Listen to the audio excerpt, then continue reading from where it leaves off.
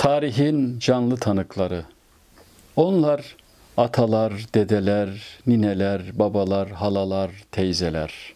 Onlar agalar, abiler ve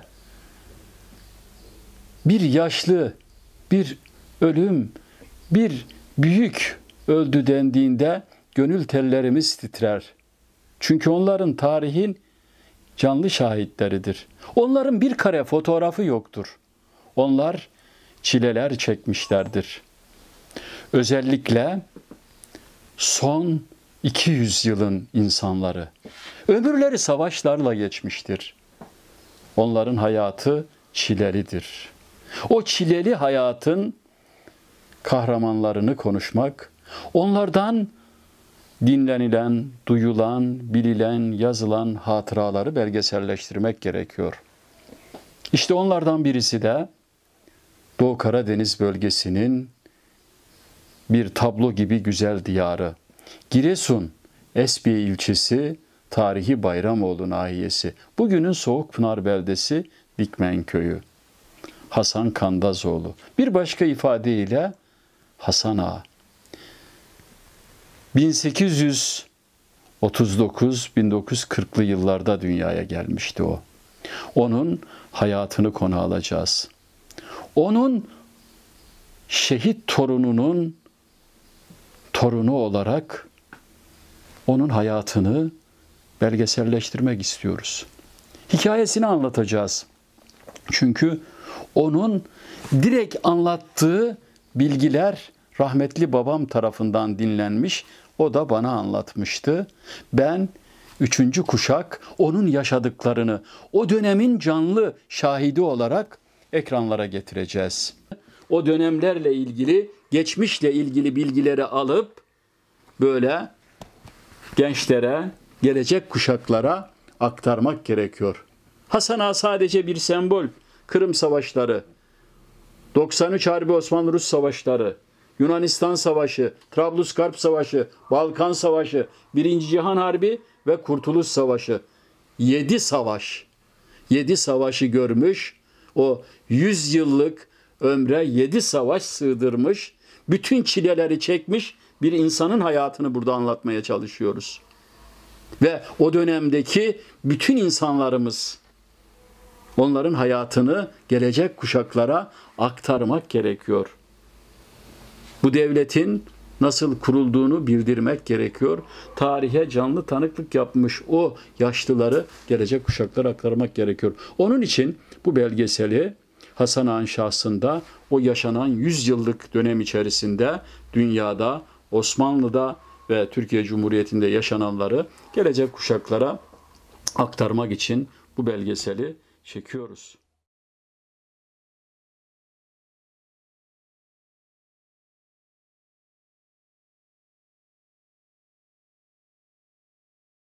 Hasan Ağa Sarıkamış Harekatı'nın başarısızlığa uğradığının ve binlerce Mehmetçiğin şehit düştüğünün haberini alır.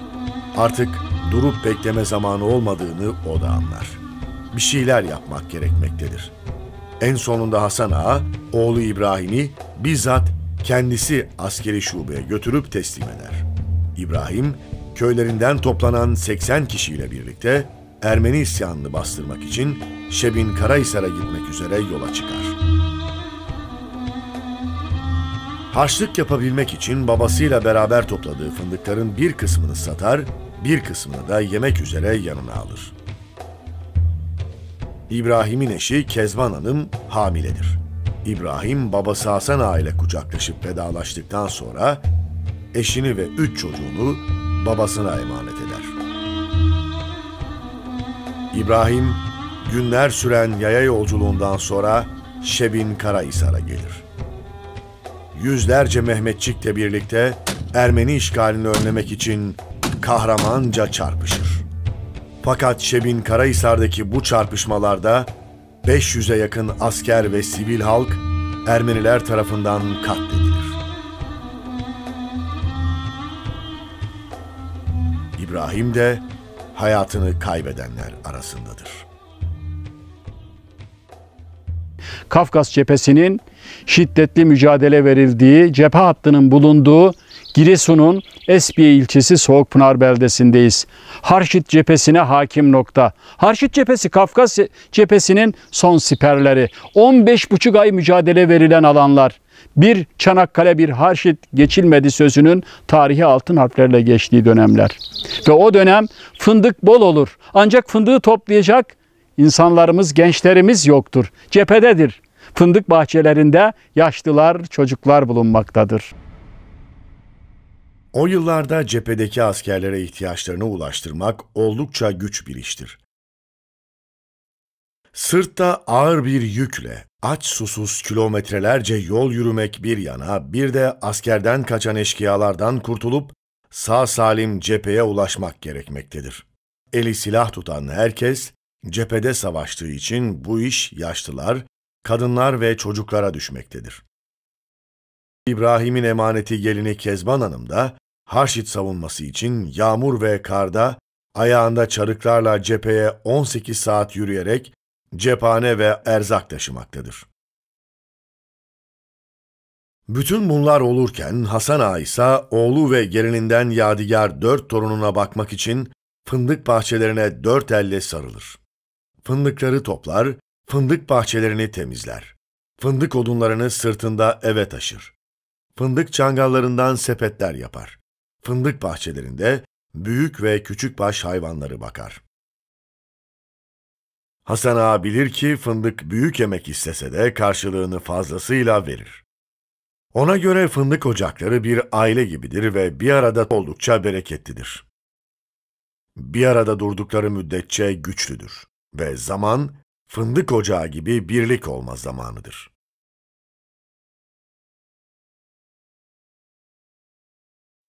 Sarıkamış yenilgisi sonrasında Rusların önünde silahsız, iaşesiz, takviyesiz, yokluk içinde toparlanmaya çalışan 3. Ordu vardır. Erzurum 10 Şubat 1916 günü Ruslar tarafından işgal edilir. 3. Ordu kumandanlığına Çanakkale Savaşları'nın başarılı kumandanlarından Vehip Paşa getirilir.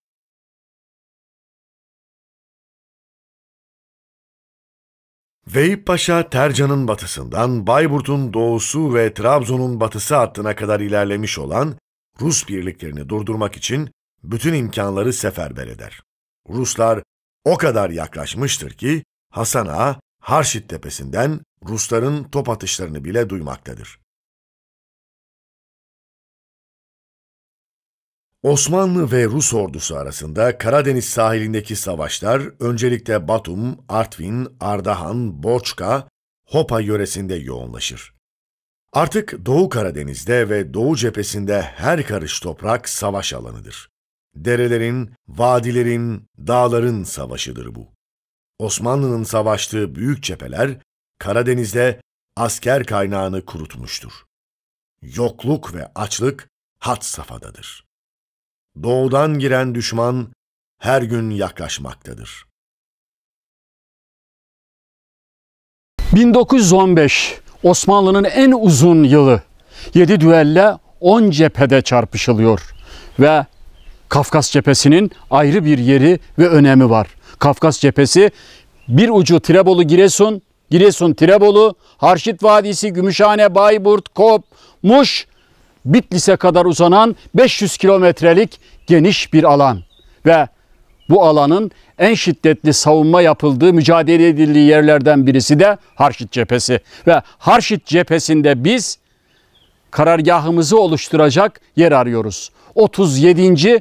Tümen Komutanı Hacı Hamdi Paşa olarak. Ve burası Giresun'un Esbiye ilçesi. Ve Doğu Karadeniz'deki muhacirleri bağrında barındırmış. Göç etmiş insanlar buraya gelmişler. Bir taraftan Rusların taarruzuyla, denizden bombardımanlarla ve müthiş mücadeleyle Harşit Vadisi'nin karargah merkezini arıyoruz. Ben babaannem 86 yaşında 70 senesinde öldü. Burada demesi bu meran altında karargah varmış. Hacı Hamdi Paşa diye anlatıyordu. Sonra buradan o artık ne zaman gittiyse biz zaten çocuğuduk buradan İstanbul'a giderken. Ne zaman gittiyse Trabzon'a gitmiş. Oradan da ona birkaç kere bu benim babaanneme selam göndermiş. 1916 yılının yağışlı ve sisli bir Temmuz sabahı. Bir tabur asker ve çok sayıda zabit kafilesi Arpacık köyünde görünür.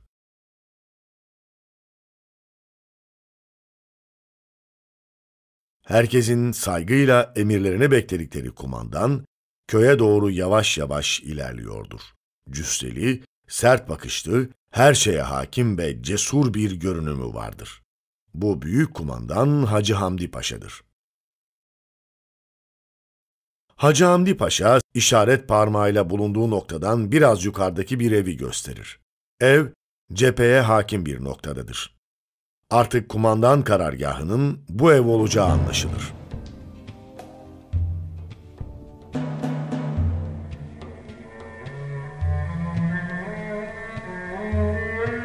Cephe birlikleri Trebolu arazisinde Harşit Çayı üzerinden güneye doğru mevzilenmiştir.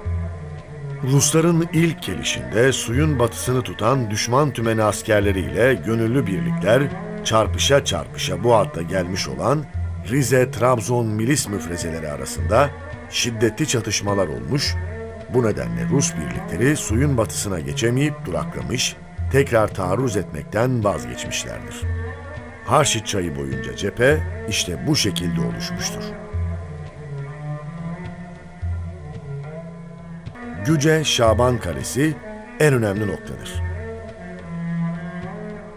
Ruslar 1916 tarihinde Trabzon'u işgal etmişler, Tirebolu kapılarına dayanmışlar ve Harşit çayının doğu yakasını kuzeyden güneye doğru cephe tutmuşlardır. Sarıkamış faciasından sonra durmaksızın süren Rus işgali ancak 16 aylık bir savunma sonucunda Şaban Kalesi'nde durdurulabilmiştir. Böylece Rus birlikleri Harşit'i geçememişlerdir. Bir Çanakkale geçilemedi, bir de Harşit geçilemedi sözü, Türk ordusunun bu çarpışmalardaki kahramanlığını gözler önüne sermektedir. 1915-1917 yılları arasında gerçekleşmiş olan Osmanlı-Rus Savaşı'nın izlerini Şaban Kalesi'nin içindeki kalıntılarda görmek mümkündür. Şaban Kalesi'nde bu toprakları vatan yaparken şehit olan Mehmetçik mezarları bulunmaktadır. Şaban Kalesi'nde askerlerin ekmek pişirmek için kullandığı taştan oyma fırın, su kuyusu ve siperler o günün acımasız koşullarını bugün bile tüm çıplaklığıyla gözler önüne sermektedir.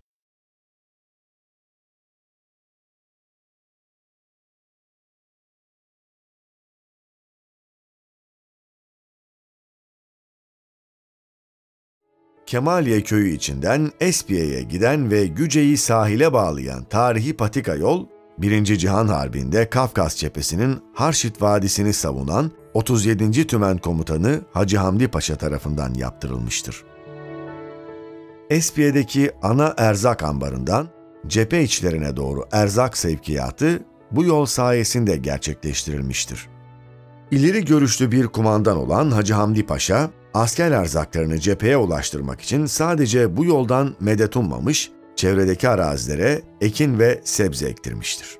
Zira o yıllarda cephedeki askerlere erzak ulaştırmak oldukça güç bir iştir. Sırtta ağır bir yükle aç susuz kilometrelerce yol yürümek bir yana, bir de eşkıyalardan kurtulup sağ salim cepheye ulaşmak gerekmektedir. Eli silah tutan herkes cephede savaştığı için bu iş yaşlılar, kadınlar ve çocuklara düşmektedir. Sırtlarına yüklenen erzakları askerlere götürebilmek için bin bir türlü zahmete katlanan bu taşıyıcı kafilelere mekkare denir. Devre Alem belgesel program ekibi olarak bir zamanlar dede ve ninelerimizin sırtlarında cephelere askeri malzeme taşıdıkları yollardan geçerek karargah merkezi olan Ağaçbaşı ve Karaovacık bölgelerine gidiyoruz tarihi inoyrak taş döşeme yolları, tepe gediği, ağaçbaşı, gümüşoluk, çaloba yaylalarıyla Gökçebel ve Aladere barajlarının ilk kez havadan belgesel görüntülerini çekiyoruz. Ve Güce yaylalarındaki güvercinlik ve Kırımsat şehitliklerini ziyaret edip fatihalar okuyoruz. Harşit savunmasında önemli bir rolü olan Hacı Hamdi Paşa hakkında Bölgede uzun süre araştırmalar yapmış olan ve savaşın canlı tanıklarıyla bizzat görüşen Güce'nin yetiştirdiği araştırmacı yazar Ahmet Kufacı önemli bilgileri bizimle paylaşıyor. Hacı Hamdi Paşa bu. Bunu Pir Selimoğlu Hacı. Ha, Hacı bak bu ne yazıyor? Esbiye Ovası'nda 3. Ordu Erkanı. Bak bu da öyle. Bun, bunları ben Hacı Hamdi Paşa'nın oğlu Hayati Bey'den aldım. Belki 20 yıl, 30 yıl olduğu alalı.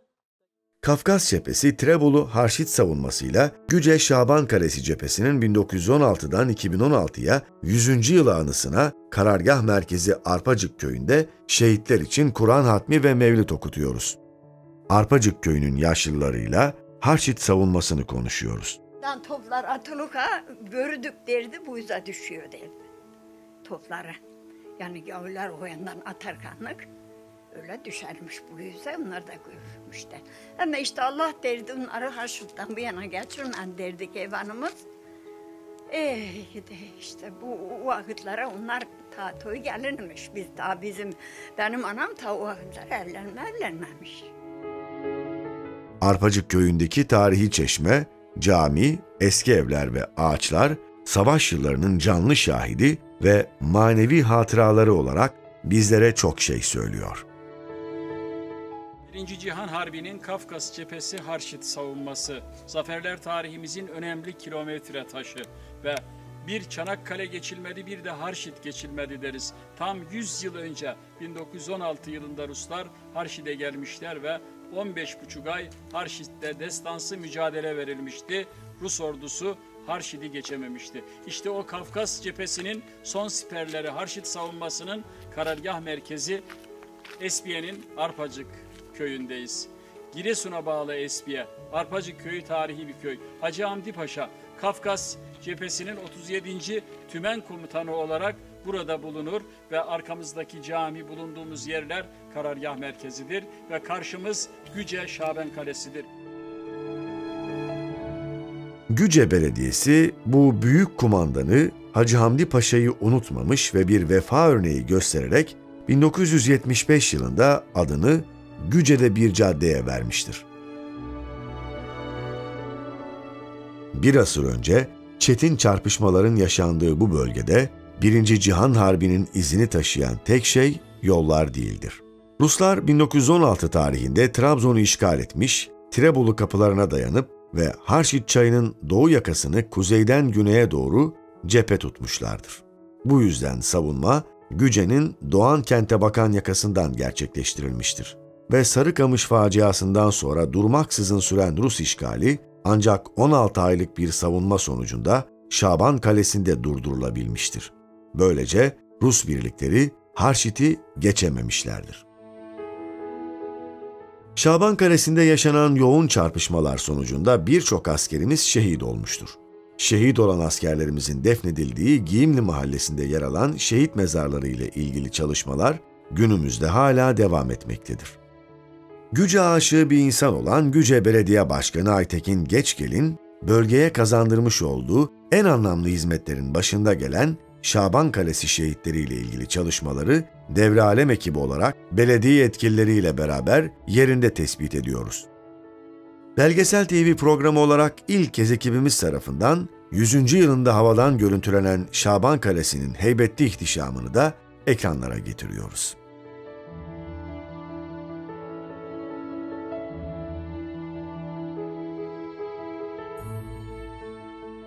Yukarıdan olduğu kadar aşağıdan da canlı ve doğal bir güzelliğe sahip olan Şaban Kalesi'ne çıkmak için yola koyuluyoruz. Burası Birinci Cihan Harbi'nin önemli bir bölgesi Kafkas cephesinin son savunma hattı Harşit Vadisi'nin Güce yakınlarındaki Şaban Kalesi mevki. Hemen arkamızdaki o muhteşem dağ adeta bir abide gibi Birinci Cihan Harbi'nde Kafkas cephesinin son savunmasını oluşturur ve bu savunmada müthiş mücadeleler verilir. Şaban Kalesi'ne gidiyoruz. 100. yılında Harşit savunmasının kurtuluş destanını araştırıyoruz. Güce'de Şaban Kalesi'nde. İçimiz daha önce Kafkas cephesinin diğer savunma hatlarında hissettiğimiz derin bir duygu seliyle heyecana kapılıyor. Yol üzerinde Güce Belediyesi ve devletimizin diğer kurumlarının desteğiyle ortaya çıkarılan şehit mezarları hakkında araştırmacılardan bilgiler alıyoruz. Birinci Dünya Harbi'nde Osmanlı-Rus cephesinde şehit olan ve bugünkü Türkiye Cumhuriyeti'nin e, mayasında e, kanı bulunan şehitleri tarihe mal etmek düşüncesiyle bildiklerimi Hayri Bahadır'a anlatmak istedim. O bilgiler cihetinde rahmetli annem Fatma Zor'la burada çalışırken 1970'li yıllarda takriben e, şu avlukların arasında bize şehit mezarı olduğunu söylerdi ve onların yanında saygısız davranmamamızı bize söylerdi. Bu tamamen e, annem okuma yazma bilmezdi. Bunu biz Anadolu insanının irfanı olarak açıklayabiliriz. İşte o irfanla bize saygılı davranmamızı söylerdi. Ve e, burada ben iki tane biliyordum mezar olduğunu. Hayri Bahadır'a söyledim. Daha sonra ilgili yetkililerle yaptıkları tespitte bugün geldim gördüm. Sayın İsmail Kahraman'ın da e, nezaretinde üç tane olduğunu gördük. Yine bunlara ilaveten biraz ileride şöyle bir 500 metrekare ileride hemen yolun üzerinde iki şehit mezarı daha olduğunu söyledim. Yine ayrıyeten aşağıda eski ayak yolu var bahçelerin arasında geçen. Orada da iki tane şehit mezarı olduğunu kendilerine söyledim. Daha sonra Hayri Bahadır e, Kültür Müdürlüğü'nden de destek alarak buradaki mezarlıkları tespit etmiş ve e, Güce Belediye Başkanlığı'nın, Güce Kaymakamlığı'nın, e, zannedersem Garnizon Komutanlığı'nın da e, katkısı var. Şehitlerimizin tespiti yapılmış ve e, burası Türk tarihine mal edilmiş. Güce ilçemizin önde gelen yetkilileri ve Güce halkı çeşitli organizasyonlarla şehitlerimizi ziyaret edip onları dualarla yad ediyorlar. Biz de aziz şehitlerimizin mezarı başında tüm şehitlerimiz için Fatiha okuyoruz. Bu vatan kimindir? Bu vatan toprağın kara bağrında sıra dağlar gibi duranlarındır diyor şair. Evet işte Şaban Kalesi eteğinde 100 yıldır adeta bir sıra dağlar gibi duran şehit mezarlarımız. Şu an 8-10 tanesi tespit edilmiş ve üzerlerine şehitlikler yapılmış. Bu dağda, bu bölgede çok sayıda şehidimiz var. Kafkas cephesinin önemli noktası Güce Şaban Kalesi bölgesi. Buradan tüm şehitlerimizin ruhu için özellikle Güce bölgesinde Şaban Kalesi bölgesindeki şehitlerimiz için sizleri Fatiha okumaya davet ediyorum. El Fatiha. 1914-1918 yılları arasında gerçekleşmiş olan Osmanlı-Rus Savaşı'nın izlerini şehit mezarları dışında kale içindeki kalıntılarda da görmek mümkündür. Geniş bir bölgeyi kaplayan kale ve çevresini farklı açılardan görüntülerken vatanımız uğruna canlarını feda eden şehitlerimizin çarpıştığı mevzi ve siperlere doğru adım adım yaklaştığımızda gördüklerimiz karşısında nefesimiz şehitlerin ve ormanın huzur dolu sessizliğine karışıyor. Evet, yollar, medeniyetin manevi tapu senedi yollar. O yollardan sadece kervanlar değil, bir kültür, bir medeniyet de geçiyordu. Şu an Şaban Kalesi'nden geçen tarihi İpek yolu güzergahı bulunduğumuz yer. Erzurum, Erzincan tarafından gelen tarihi İpek yolunun Tirebolu limanına inen güzergahı, ana güzergah. Burası. Burası. Meşhur Erzurum'dan gelip Evet. Tarihi Tirebolu Tirebolu'ya inen İpek yolunun kervan yolu güzergahı. burası. güzergahı muhteşem bir şey. Burası şimdi üzeri gazellerle kaplanmış ama önceden burası taş döşemeydi. Tabiatına ve tarihine sahip çıkan Başkan Aytekin Geçger'in öncülüğünde savunma bölgelerinde karınca misali büyük emek sarf eden Güce Belediye ekipleri güzel işlere imza atmış. Bu duygularla bölgeyle ilgili araştırma yaparak Şaban Kalesi şehitlerini kamuoyunun gündemine getiren Güceli gazeteci Hayri Bahadır Bey ile kaleye tırmanışımız devam ederken Güce Belediyesi Özel Kalem Müdürü Kadir Kara yolların açılması, şehitlikler ve siperlerin ortaya çıkartılması ile ilgili bilgiler veriyor. 100 yıl önce savaşılan merzilere, top atılan noktalara doğru ilerliyoruz. Tabi burası biraz atıl durumdaydı. Ee, yabani otlar, bitkiler burayı kapatmıştı. Belediye başkanımızın talimatıyla burada bir 15 kişilik ekiple bir haftadır çalışıyoruz. Ana yol ve bu güzergah.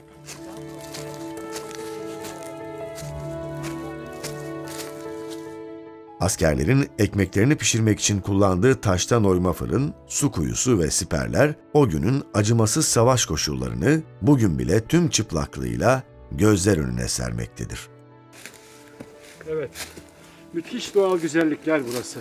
Buradan Orman Bakanlığı Milli Parklar Genel Müdürlüğü'nü göreve davet ediyoruz. Burayı bir tabiat parkı yapabilirler. Trabzon Kültür ve Tabiat Varlıkları Koruma Kurulu da burada acilen bir inceleme yapsın. Tabii Giresun Kültür ve Turizm Müdürlüğü bilmiyorum geldiler mi? Hiç geldiler mi?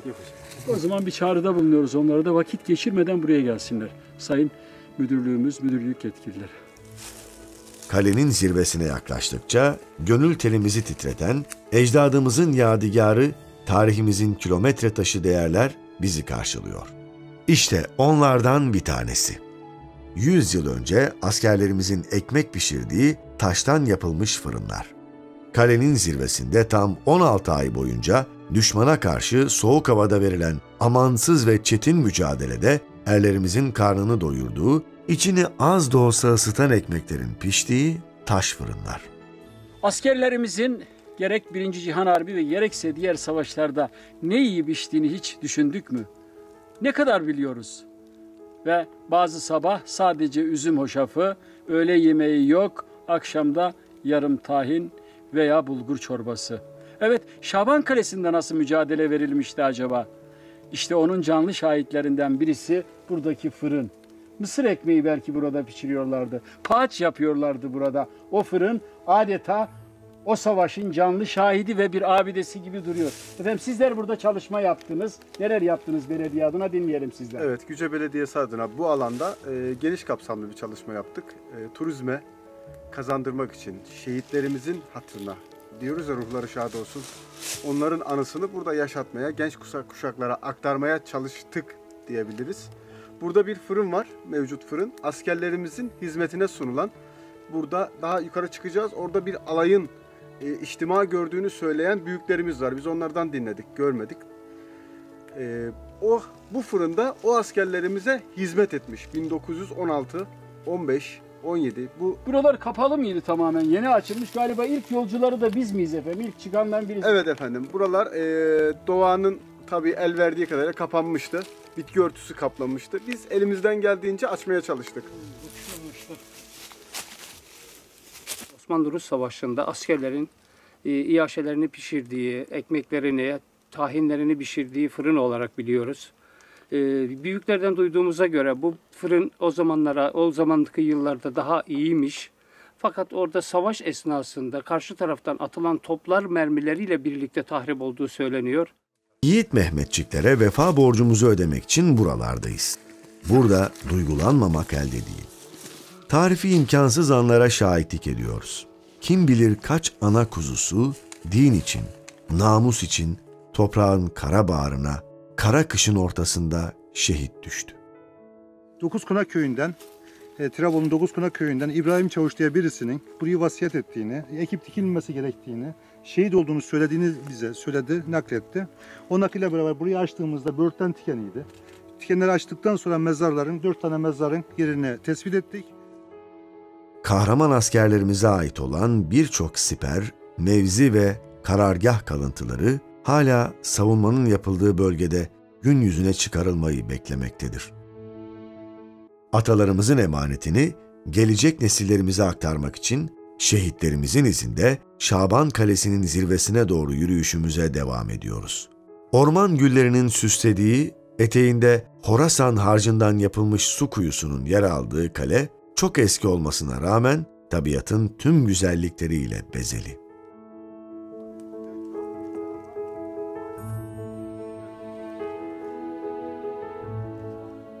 Orasan Haçlı taşların yanında kalenin zirvesindeki su kuyusu. Ve halen su var burada. Ee, gerçek bir kale. Ya Cenevizliler dönemi veya da Selçuklular döneminden kalan bir kale. Çünkü altında geçen yol İpek yolu. Biz kalenin zirvesindeyiz. Burada destansı mücadele veren aziz şehitlerimizi hayırla, minnetle, şükranla yad ediyoruz. Bu güzelim orman gülünü bu zirvede, bu zirvede tüm şehitlerimizin aziz hatıraları için şöyle saygıyla buraya bırakıyoruz. Onların aziz hatırasını şöyle çiçekle, orman gülüyle yad etmek istedik. Ruhları şad olsun. Makamları cennet olsun ve çıktık değerli izleyenlerimiz. Hiç çıkamayacağımız diye ümit ediyorduk ama gerçekten değildi. Çok teşekkür ediyoruz ekip arkadaşlara. Hele bu işin organizatörü hemen duygularınızı bir alayım sevgili kardeşim. Bizi zirveye çıkardın. Çok teşekkür ediyoruz. Tarihi yeniden Biz yaşattınız. teşekkür ederiz İsmail Bey. Buralara geldiğiniz, bize eşlik ettiğiniz için. Bu zirveye bu yaklaşık 5. veya 6. çıkışım ama en zevklisi, en keyiflisi buydu. Sohbet edeye de, o hatıraları yad edeye de bu zirveye çıktık. Ruhları şad olsun. Evet aziz şehitlerimizi tekrar minnetle şükranla yad ediyor. Şaban Kalesi zirvesinden Şaban Kalesi şehitlerinin ruhu için Allah rızası için El Fatiha.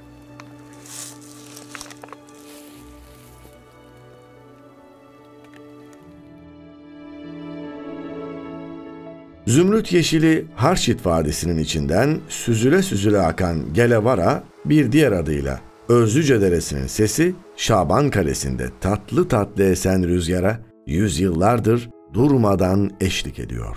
Kalenin zirvesine bağımsızlığın simgesi ay yıldızlı bayrağımızı asarken şehit ve gazilerimizi bir kez daha minnet, şükran ve rahmetle anıyoruz. İşte bu. Bayrağı zirveye de diki verdik böyle kalenin zirvesine. Muhteşem bir manzara. Solumuz Osmanlı askerlerinin cephelerinin bulunduğu yerler. İlit, e, Güraç, Arpacık, hele Arpacık hemen karşıda. Birinci Han Harbi'nde Harşit savunmasının karargah merkezi. Hacı Hamdi Paşa komutasında 37. tümenin karargahının bulunduğu yer ve savunma hattında bulunduğumuz gibi burası hemen solumuzda da Harşit Vadisi Rus askerlerinin bulunduğu yer. Gerçekten muhteşem bir zirve. Şüheda gövdesi bir baksana dağlar, taşlar. O rükû olmasa dünyada eğilmez başlar. Vurulup tertemiz alnından uzanmış yatıyor. Bir hilal uğruna ya Rab, ne güneşler batıyor. Ey bu topraklar için toprağa düşmüş asker.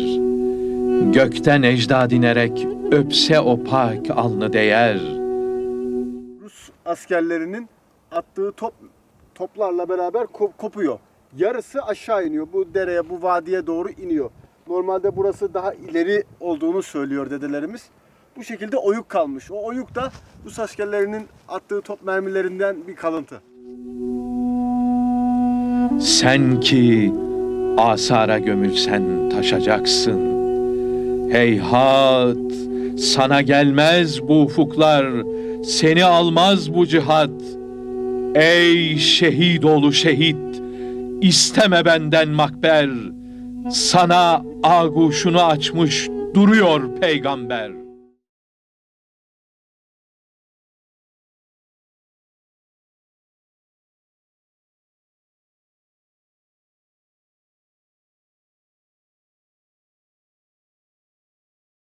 Doğu Karadeniz bölgesinin Oğuz Türklerinin Çepni boyunun yaşadığı Osmanlı döneminde Çepni vilayeti olarak bildiğimiz Giresun yöresi, Vakfıkebir, Kürt'ün ordu yöreleri fındıkla vatan haline gelmişti 7-800 yıl önce. Evet fındık hep önemli olmuştu. Özellikle 1. Han Harbi Kafkas cephesi Harşit savunmasında. Şu an bulunduğumuz tarihi bir siper. Şaban Kalesi'nde ve askerlerimiz de o günü canlandırıyoruz. Vatan yahut fındık belgeselimizi çekiyoruz. Fındık elimizde. Vehip Paşa 3. Ordu Komutanı 10 milyon 95 kilogram fındık satın alır. Kafkas cephesinin en şiddetli ceryan ettiği 1917 yılında. Ve böyle gelir cephelerde, mevzilerde askerimize fındık dağıtır. Ve fındık üç öğün yenir. Fındık gerçekten önemlidir. Hatta canlı şahitlerle görüştük. Birinci, ikinci ağızdan duyanlarla. Fındığın içerisini kırıp askere gönderir buradaki insanlarımız. Fındığın kabuğunu mısır güdenesiyle su değirmenlerinde öğütür, ekmek yapar yerler. Kafkasya Cephesi, Birinci Dünya Savaşı'nda Osmanlı İmparatorluğu'nun Rusya İmparatorluğu, daha sonra Britanya, Ermenistan Demokratik Cumhuriyeti ve Merkezi Hazar Diktatörlüğü ile karşı karşıya geldikleri cepheye verilen isimdir. Kafkasya Cephesi, savaş sırasında Doğu Anadolu işlerine kadar genişlemiş, Trabzon, Bitlis, Muş ve Van şehirlerine kadar yayılmıştır. Birinci Dünya Harbi dünya tarihinde olduğu gibi bizim tarihimizde de çok önemli bir yere sahiptir. 1914'te başlayan bu harp Batı literatüründe Osmanlı Veraset Savaşı olarak da geçer. Osmanlı İmparatorluğu şark meselesi projesinin uygulanmasına maruz kalmış. Kafkas cephesinde başlamadan önce e, biz de imkanlar ölçüsünde hazırlıklarımızı yapmış. Özellikle teşkilatı mahsusanın bu bölgede iki alay oluşmuştu. Erzurum'da e, Doktor Bahattin Şakir komutasında olan e, alayın en önemli komutanlardan birisi Deli Halit Bey'di. Bir başka komutansa e, Tirebollu Alpaslan e, namıyla anılan e, Hüseyin Avni Bey, binbaşı Hüseyin Avni Bey. Kuruluş ve kurtuluş mücadelemizin önemli simalarından. Adı her ne kadar bilinmese de deli lakabıyla ün yapmış, asker kökenli, aynı zamanda milletin vekili olmuş, cesur ve başarılı bir isim. O Eyüplü, Kars'ı alan Deli Halit Paşa, Kop Dağı savunmasının önemli komutanlarındandır.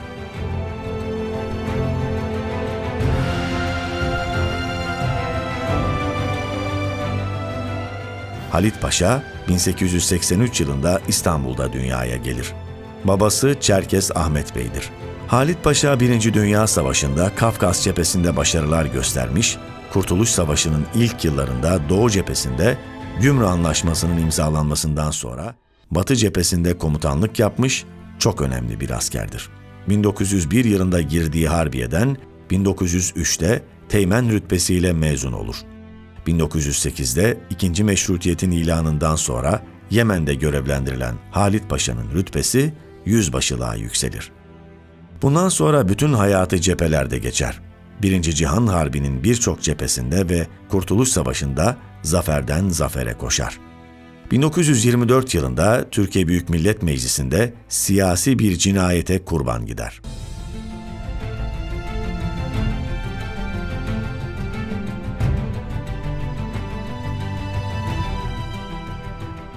Harşit savunmasının karargah merkezi Espiye bölgesinde yetişen Sarıkamış, Kopdağ ve Harşit savunmasının en önemli komutanlarından birisi de üç savaşta bir komutan Şehit Binbaşı Hüseyin Avni Alparslan'dır.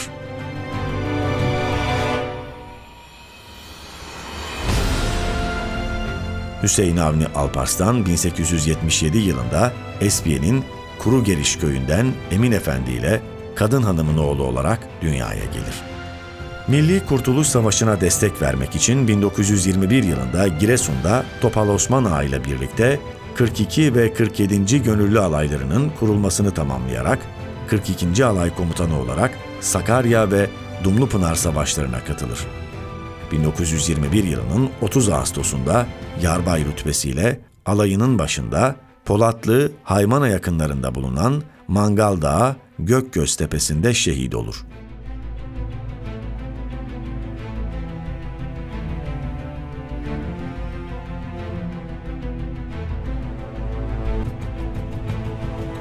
Osmanlı Devleti'nin Kafkasya cephesinde gerçekleştirdiği Kop savunması, Osmanlı-Rus Savaşı'nın seyrini değiştirecek kadar önemli bir savunma olmuştur. Tarihimizde önemli bir yere sahip olan Birinci Dünya Harbi, Türk milletinin unutmaması gereken ibret sayfalarıyla doludur. Çünkü bu harp, Batı dünyası için Türkistan medeniyetinin yok edilip Anadolu'dan atılmasını hedef alan bir misyonun, ilim, irfan ve medeniyetinin adı olan Türkistan ve Horasan İslam medeniyetini yıkmak için batılı haçlı ve sömürgelerinin uydurduğu şark meselesinin tatbik sayfalarından biridir. Zaferler tarihimize 2. Çanakkale Destanı ve Plevne savunması olarak geçen Kop Dağı ve Harşit savunması, Rusya'nın hayal kırıklığına uğramasının önemli kilometre taşlarından biri olmuştur.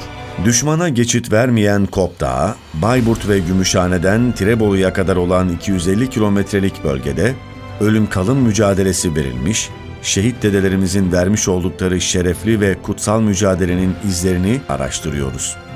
Kopdağ bölgesinde yaptığımız araştırma ve belgesel çekimlerimize Kopdağ savunmasıyla başlıyoruz.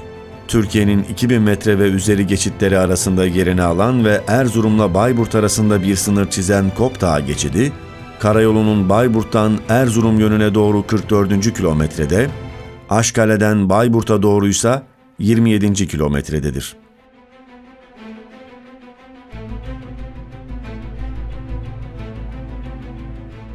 Arkamızda bıraktığımız manzara gerçekten muhteşem. Zirveye ulaşmak pek kolay olmuyor. Doğu Anadolu'yu Karadeniz'e bağlayan önemli bir yerde bulunan 2409 metrelik Kop Dağı zirvesine ulaşmak için Kop Dağı'nın etrafını dönüyoruz. Bayburt il sınırına girdiğimizde artık menzili maksuda, geçidin zirvesine ulaşıyoruz. Tarihi Kop savunması, Bayburt ili sınırlarında yer alan 2500 metre yükseklikteki Kop Dağları'nın bulunduğu stratejik bölgede cereyan etmiştir. Doğa Koruma Milli Parklar Genel Müdürlüğümüz şehitliklerimize sahip çıkmaya devam ediyor. Bugün birçok bölgede tabiat parklarının yanında tarihi milli parklar var. Bunların bazıları da tıpkı Çanakkale, tıpkı Sarıkamış, tıpkı Başkomutanlık Meydan Muharebesi, Sakarya Meydan Muharebesi, Nene Hatun meydan muharebelerinin yapıldığı bölgelerde olduğu gibi Kopdağ bölgesi de tarihi milli park çalışmaları sürüyor. Biz de o çalışmaları yerinde adım adım gezerek belgeselleştiriyoruz. Kopdağ bölgesindeyiz.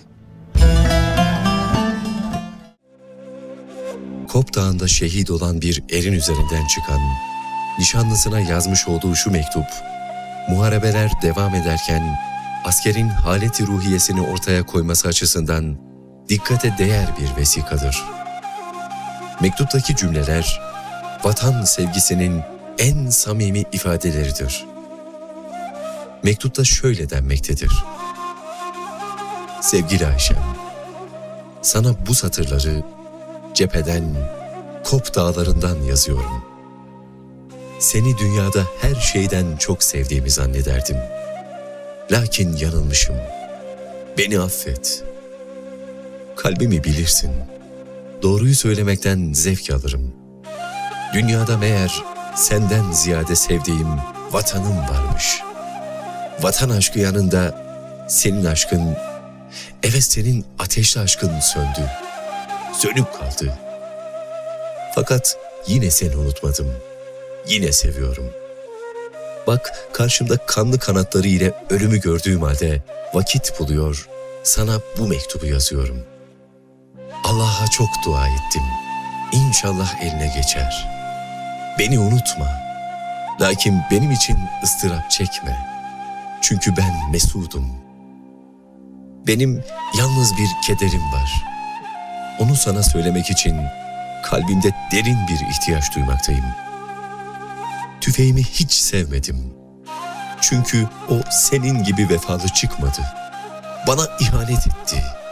Düşmana az zarar verdi. Ah Sadık Ayşem. Ah vefasız tüfek. Ah vefasız tüfek. Hey kopta oldu duman ciğerim yandı yaman. Utan ey kahve düşman. Bu yerler koçak yurdu.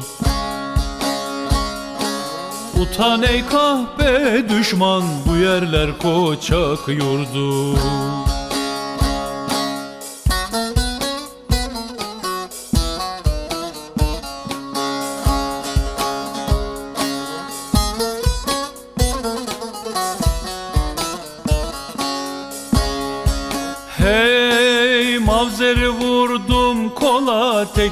çıktım yola.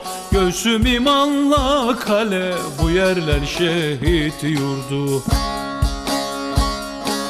Göğsüm imanla kale Bu yerler şehit yurdu. Kop savunmasının e, beş buçuk ay sürmesi Rusya'da Bolşevik ihtilaline sebep oluyor. Yani ihtilalin sebeplerinden biri de Rus arşivlerinde eğer araştırırsanız e, Bolşevik ihtilaline sebep olan etkenlerden biri de çok savunması olduğu ortaya çıkıyor. Hey çoruhdan suyun aldım Yarime selam saldım. Kardan siper bağladım Bu yerler Şahin yurdu. Kardan siper bağladım Bu yerler Şahin yurdu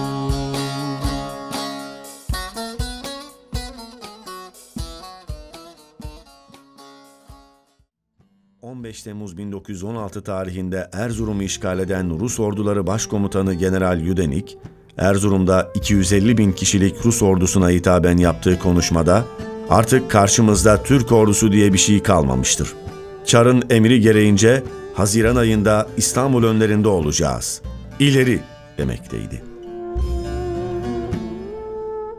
Rus komutanı, Kafkas cephesinin komutanı Yüdeniç, e, buralar artık Erzurum düştükten sonra son derece e, rahat ve şey halinde e, hem Rus çarına da müjdeyi veriyor ve Rus çarıyla da yaptıkları görüşmede artık Haziran başında biz İstanbul'dayız diyor. Yani İstanbul'u e, Haziran başında e, İstanbul'dayız artık Erzurum düşmüş.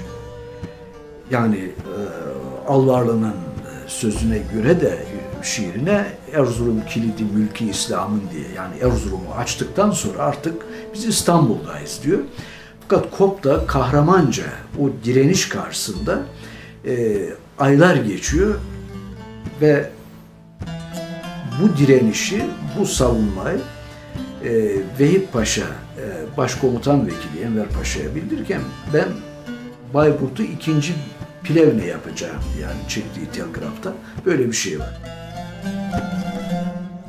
5 Şubat 1916 günü Türk kuvvetlerinin bir kısmı dağda müdafaa hattını hazırlarken diğer kısmının Aşkale kanadında çarpışan kuvvetlere katılması için hareket etmeleri emredilmişti. 8 Şubat 1916 tarihinde Rus kuvvetleri komutanı karşılarında mukavemet gösterecek Türk kuvveti bulunmadığını düşünerek bütün birliklerini Aşkale'ye yerleştirir. Diğer bir tabura da Bayburt istikametinde ilerlemek üzere emir verir. Bu taburu Paşa Dağı sırtlarına yerleştirilmiş olan Yüzbaşı Reşit Bey komutasındaki Türk kuvvetleri karşılar. İki gün süren şiddetli muharebeler sonunda Rus taburunun büyük bir kısmı imha edilir ve geriye kalan kısmı ise ağırlığını bırakarak Aşkale istikametinde kaçmaya mecbur olur. Bunun üzerine düşman kuvvetleri komutanı karargahını Aşkale'de kurar.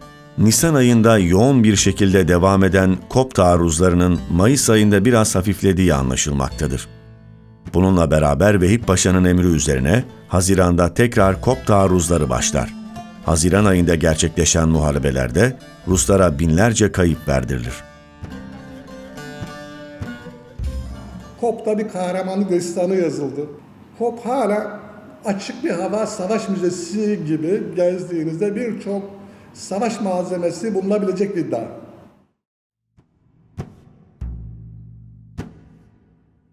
Zor durumda olan Türk ordusuna cephe kumandanı Bahaettin Bey, Kop cephesinde daha fazla tutunamayacağını düşünerek ricat emri verir.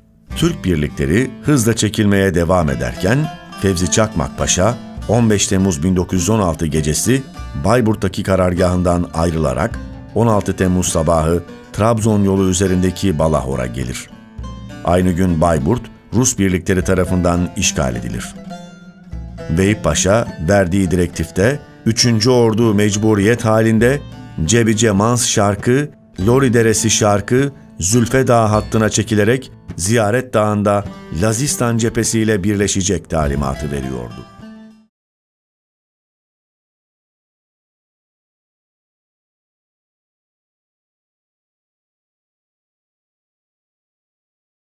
Hasan Ağa'dan kalan en önemli emanet, en önemli tarihi eser budur. Evet Hasan Ağa'nın damgasıdır bu. Tamga, damga çok önemlidir. Ve en az 130-150 yıllık bir geçmişi olan damga. Kereste ticaretiyle meşguldür Hasan Ağa. Dağlarda kereste kesmiştir fındıktan önce. Onları su yoluyla akıtmıştır. Damgaları vurur ağaçlara, keresteye. Bu damganın olduğu ağaç Hasan Ağa'nın kerestesidir. Onu orada Espiye'de satar. O keresteler akar gelir. Hayvanlara, başka yerlere vurulan bir damgadır bu. en önemli değer Hasan Ağa'nın en önemli hatırasıdır. 1916-1917 yıllarında Doğu cephesi coğrafyasından büyük bir göç hareketi başlamıştır. Muhacirlik diye adlandırılan bu göç hareketi, Doğu cephesinin savunulduğu bölgenin tarihteki en büyük kırılma noktalarından biridir. O kadar ki yüz binlerce insan evini barkını bırakmış, güneşin doğduğu yerden battığı istikamete yürümüştür. Bunlar genelde kadınlar, ihtiyarlar ve çocuklardır. Batum'dan başlayıp Rize, Artvin ve Trabzon'dan katılımlarla çoğalan, Rus ordusundan Ermeni eşkıyasından kaçarak batıya akan muhacir sayısı 2 milyon olarak verilmektedir. Ve bunların yarıdan fazlası geri dönmediği gibi gittikleri bölgeleri de büyük bir yükün altında bırakmışlardır. İşgal yerlerinden kaçan kadın, çocuk ve yaşlılardan oluşan halk, öncelikle Giresun ve ilçelerine sığınmıştır. Giresun halkı savaştan kaçan sivil halk ve muhacirlere kucak açmış, bir taraftan Rusları Harşit'te durdurmaya çalışırken, diğer taraftan da muhacirlere sahip çıkıp onları açlık ve soğuktan kurtarmaya çalışmıştır. Hasan Ağa da kendi gücü yettiğince muhacir ailelere yardım eli uzatmıştır. Kendi ailesinden ayrı tutmadığı bu ailelerle sofrasını hatta evini paylaşmıştır. Ancak 18 Nisan 1916 Trabzon'un işgali Giresun'da paniğe sebep olur. 3. Ordu Kumandanı Vehip Paşa ordusunu Tirebolu ilçesinden Erzincan'a uzanan hat üzerinde yerleştirir. Bu hattın önemli bölümü Harşit Çayı'nın batı sırtlarındadır. Ama kapıyı daha büyük bir tehlike çalmaktadır. Açlık. Yüz binlerce muhacir Giresun ve Ordu'ya yığılmıştır. Vehip Paşa'nın karargahı sıkıntı içindedir. Savaş yüzünden tüm erkekler cephelerdedir. Halk tarlalarını ekip dikememiştir ve son çare olarak fındığa tutunmuştur. Hatta bu dönemde insanlar yiyecek ekmek bulamadıkları için fındık kabuğu, mısır gödenesi ve kara ağaç kabuğunu el ve su değirmenlerinde öğüterek ekmek bile yapmışlardır. Veyip Paşa da ordusunun kurtuluşunu fındıkta görmüştür ve 1917 yılı mahsulü olan 10 milyon 90 bin kilogram fındığı bedeli karşılığında toplanmasını istemektedir.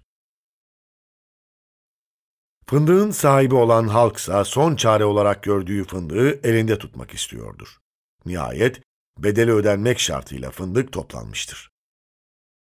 Fındık son çare olsa da aslında tam anlamıyla asker için uygun bir yiyecektir.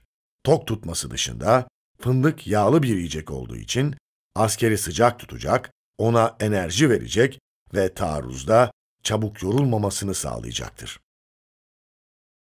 1916, 1917, 1918 yıllarında fındık ordu ihtiyacı olarak kullanılmış, tam anlamıyla vatan savunmasının ana yiyeceği olmuş ve her kesimi kasıp kavuran açlık bir nebze olsun teskin edilmiştir. E, Kafkas cephesi de 3. ordumuz Ruslarla savaşıyor.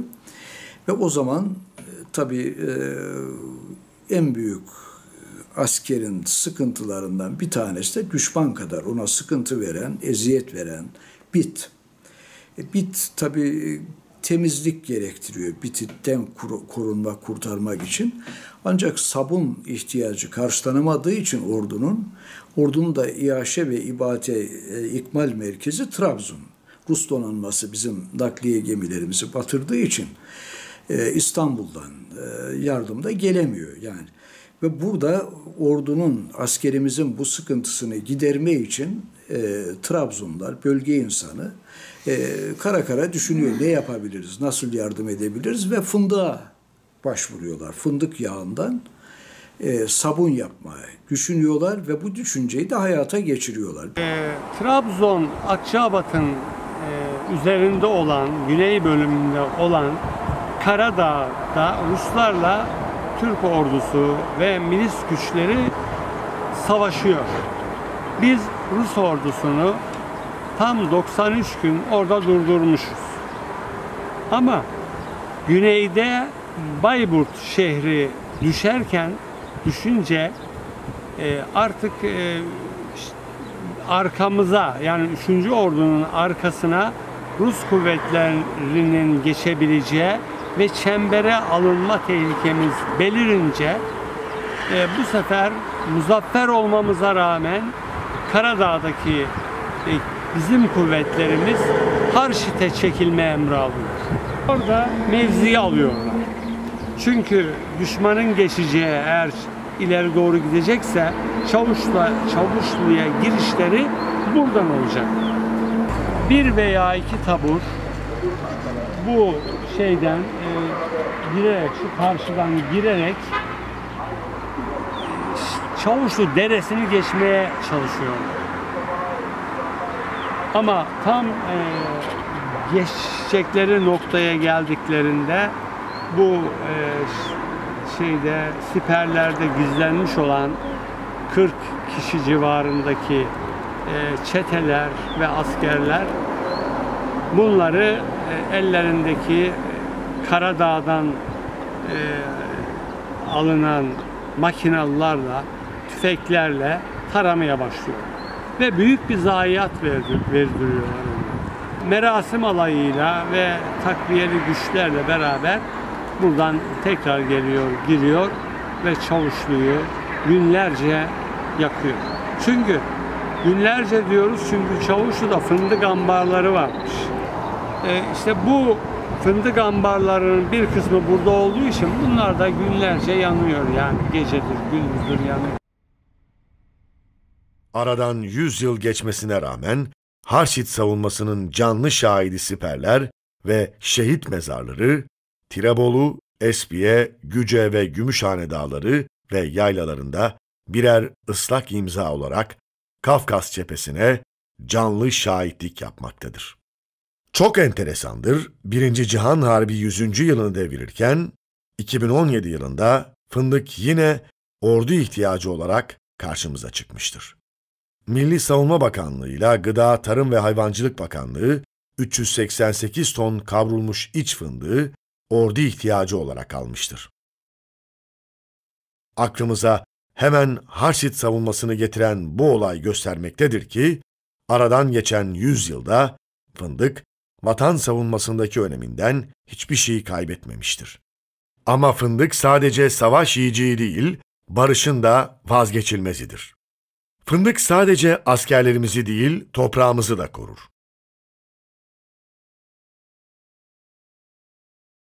Doğu Karadeniz yöresinde fındık, ekonominin bel kemiği demektir. Umut demektir. Bundan dolayı Türklerde eskiden beri kutlanan ve yöreden yöreye değişen hasat bayramlarının bir yansıması olan fındık bayramları, Giresun'da da kutlanmaktaydı. Bu bayramlarda büyük şölenler yapılıyor, her kesimden insan senenin ilk fındıklarını heyecanla, coşkuyla karşılıyordu. 1926'da yayınlanan bir gazetedeki haber, bu duruma güzel bir örnek teşkil etmektedir. Yeni sene mahsulü Giresun'un ilk fındıkları merasimi fevkalade ile ihraç edildi. 1926 senesinin yeni fındık mahsulünün ilk kısmı Ağustos'un 27. Cuma günü Giresun'da merasim mahsulüyle Cumhuriyet vapuruna sevk ve ihraç edilecektir.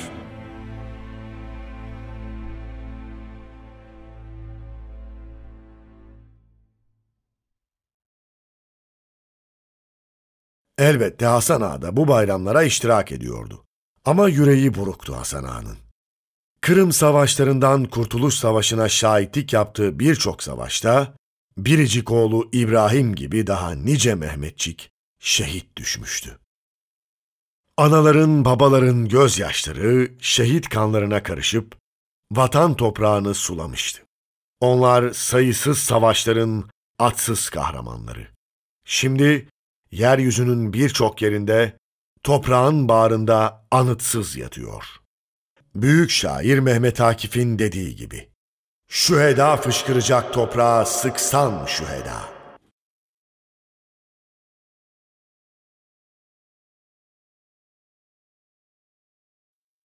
Vatan kurtulmuş olsa bile geçmişin o acı günleri Hasan Ağa'nın aklından gitmemişti.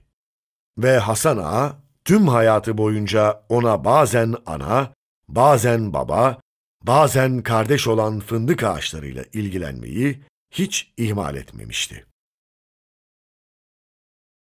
Savaşların en şiddetli olduğu zamanlarda bile fındık bahçeleriyle ilgilenip fındık üretmeye devam eden ve vatanın kurtuluşuna bu şekilde katkı sağlayan Hasan Ağa, mücadeleyle geçen bir ömürden sonra nihayet Kurtuluş Savaşı'nın zaferle sonuçlanmasına ve Türkiye Cumhuriyeti'nin kurtulmasına tanıklık ederek huzura kavuşmuştur. Hasan Ağa'nın bedeni artık yorgun ve bitkindir. Torunlarını etrafına toplar. Onlara vasiyet ve nasihatte bulunur. Fındık ocaklarını kurutmayın. Evlerinizin ocakları yanıp bacaları tütsün. Bir ve beraber olup devletinize sahip çıkın. Hasan Ağa 1939 yılında vefat eder. 600 yıllık bir geçmişe sahip Bayram Naci Emiroğulları Beyliği'nin nahiye merkezi olan köyündeki tarihi mezarlığa gömülür.